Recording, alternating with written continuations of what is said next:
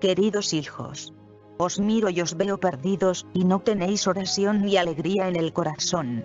Hijos míos, regresad a la oración y poned a Dios en el primer lugar y no al hombre. No perdáis la esperanza que os traigo.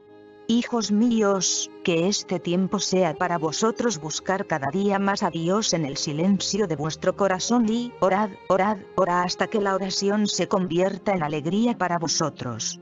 Gracias por haber respondido a mi llamada.